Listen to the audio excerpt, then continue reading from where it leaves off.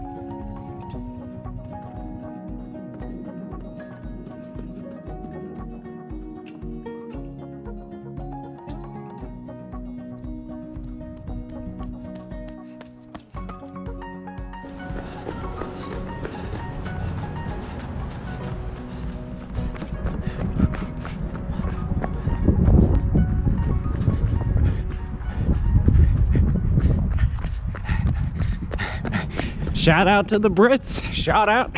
I don't know what that store is back there. I think they do, they work on English cars. Old English cars, they restore them. Okay, we're almost home. First run in the Hoka Mach 3s. I will say, I did not run in the Mach 2s. So I don't have experience with the Mach 2s and I won't be able to compare, but I'll give you my full thoughts in the studio for the Mach 3s. So far, rocking and rolling. Are they a tempo shoe? Are they a long run shoe? Are they an interval day shoe? You're about to find out. You're about to find out. Okay, almost home. We're home. They're playing basketball. Hi, Michael. Oh, there he is, precious. And we're back into the studio for my first impressions of the Hoka One One Mach 3. There it is in my hands, loving the colorway. And yes, not my full review, that'll happen after 50 miles. Okay, so it's a neutral. All right, let's do the test. The oh yeah, definitely neutral, neutral road running shoe from Hoka. I will say the outer, uh, sorry, the outsole is definitely not made for the snow. I survived out there today, but it is it was a little bit of a slick ride. So the outsole, don't take it on too much ice or snow. All right, let's dive into a few specs before giving you my thoughts on how it performed today on the first run. So the drop, we're looking at 24 millimeter stack height in the heel, 19 millimeter in the forefoot for a 5 millimeter drop. Uh, drop for the ladies version, it's 22 millimeter and 17 millimeter, so still a 5 millimeter drop. For the men's size 9, we're looking at 8.6 ounces or 245 grams. There it is on your screen. Pretty lightweight shoe. I must say, I'm, I'm pleased with the weight of this Hoka Mach 3. Okay, diving into the upper. It's a mesh upper, all right, mesh upper, and it's I'm gonna put it in the simplified category for uppers. There's not a lot going on here. Uh, for example, there's no overlays. What are overlays? It's the rubber or plastic that is placed on, basically on top, it, it would be placed on top of the mesh to help give the shoe, uh, the upper of the shoe a little more uh, structure or rigidity. Um, so for example, as you can see here, I'm just like pressing, pressing all over the upper. It's very malleable, really no structure to the upper. So if you prefer a shoe that has that structure, this probably this Mach 3 is probably not for you. For example, this is very very different than an Asics or a Mizuno, all right? And what else? Uh, I will say, oh yeah, and very comfortable heel counter. I was actually pretty surprised at how comfortable the heel counter was. No slipping, despite the heel counter being, once again, pretty malleable. One slight situation is I don't have a very wide foot, but, uh, and this is the case with other Hokas as well. It doesn't really bother me, and by the end of today's run, uh, I had forgotten about it, but my pinky toe on both shoes, right and left shoe, my pinky toe was pressing. Not, it wasn't pushing through. It wasn't like too hard. Oh, sorry about that. So my pinky toe was pressing against this outer wall of the shoe. Something to keep in mind if you have wider a wider foot that uh, I, I, think this has been an issue with some other Hokas in the past as of late. And one more point on the upper is that the tongue is gusseted, meaning it's connected to the outer wall. Hopefully you can see that there in that shot. I like it. It helps keep the tongue in place uh, right on top of your foot so it's not sliding around at all. And moving on to the midsole of the Hoka Mach 3. So that 22 millimeter and 17 millimeter, we're not gonna put this into the maximalist category. I would say it's more that middle of the road with respect to the stack height on this midsole. So if you prefer a Hoka shoe that has a lot of midsole protection for your feet and your legs, this, you know, again, this might not be the shoe for you. It's their ProFly midsole foam. That's the name of it, ProFly. There it is on your screen. Also on this midsole, it's that classic Hoka Meta Rocker midsole. So think of, imagine a, a rocking chair. So just back and forth, heel to toe, heel to toe. That's what they're going for. All right, but now what are my real gut reactions on the ride of this Hoka Mach 3 midsole? Slight situation, everybody. It's a little dense, a little firm through the landing. I was a little shocked. And you know what I was wishing for? I was wishing for, like I probably many of you out there, I was wishing for like a 90, 95 degree Fahrenheit day here in Denver to test this midsole out in warmer temperatures. It wasn't freezing out today, but it was a little chilly. And I was just thinking, man, I wonder after like two or three miles in a 90 degree day, would this midsole just get a little softer? You know what it was not like?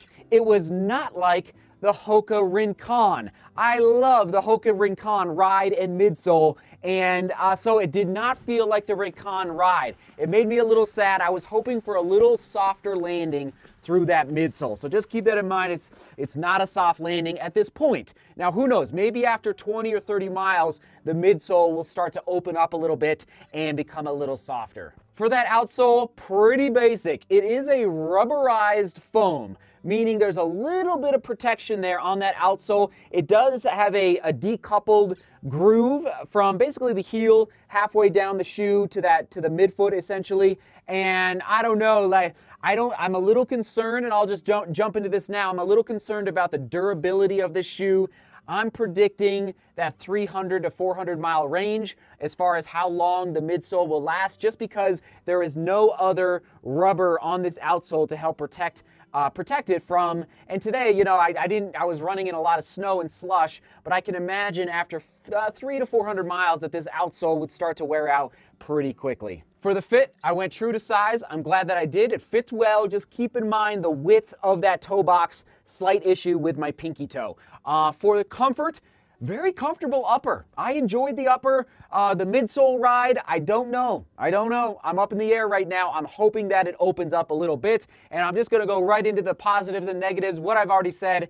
The positive is the, uh, the comfort of the upper, and the drawback is that firm landing. Who, who knows? Man, I wish maybe I should fly to like maybe I should who who lives in a warm place? I need to come visit and take out this shoe and maybe a couple others that I'm just I want to test out in warmer temperatures just to help loosen up that you know what I would do? I would place the shoe out in the sun for like 10 to 15 minutes just to soften it up a little bit cuz right now it's just feeling a little too uh, a little too dense for my liking. And actually one last point, in the first uh, 2 to 3 minutes running in the Mach 3 today, I was yearning for some Spenco inside the shoe. You know, the cushioning that I use in some of my shoes, there it is, just a little extra cushion. I was like, oh, where is my Spenco? Because I felt it immediately like, oh boy, this is gonna be a little bit of a hard ride. So how will I use this shoe moving forward and who is it best for?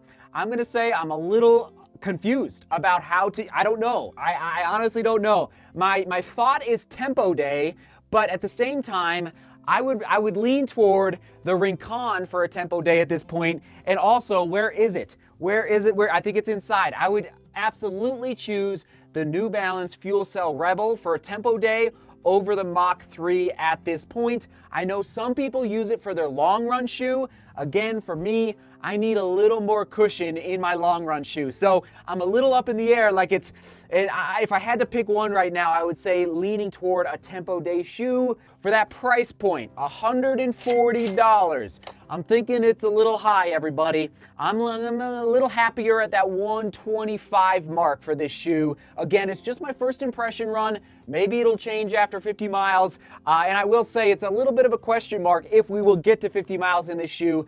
I like it a lot. I, I, as far I like it, I like the upper. I'm just struggling with that midsole. It's just a little too firm right now. I, I would definitely buy the Rincon over the Mach 3 at this point. Now, in conclusion, I'm not giving up on the Mach 3. I think it has potential. I kind of wish it was summertime right now in Colorado so I could test it out in warmer temps, but I do know some people are using this shoe for their half marathon racing. And I think I think it has potential. It is responsive. I felt it today like even though it's a little bit of a firm landing for me, uh, I did feel responsive through the gait cycle. So overall, not giving up. We shall see if we take it to 50 miles. I'll do my best to get it there, but uh, yeah, that's where I'm at with this shoe. All right, everyone, question of the day. What is your go-to long run shoe or tempo day shoe right now. Remember a couple days ago we talked about this topic on the vlog, kind of building out your uh, your running shoe rotation, how my strategy for doing that. If you haven't seen that vlog, a lot of people are watching it, so upper right hand corner you can check that out. But that'll be interesting to hear as we enter into 2020 what people are choosing for their long run shoe. And if you just want to choose one, that's fine as well, long run shoe or Tempo Day shoe. Thank you for being here. Thanks for watching on this fine day. Simple Sunday vlog. And we're onward and upward to a new week, starting week five today of my marathon training. Cannot wait. All right, everyone, we're going to toss it back on the right to the Hoka running shoe playlist. That'll be on the right, Hoka running shoe playlist. And then on the left, we'll toss it back to the Hoka Rincon full review, the Hoka Rincon full review. Review, that'll be on the left. Thanks for being here. Thanks for watching. Seek Beauty work hard, and love each other. See you tomorrow.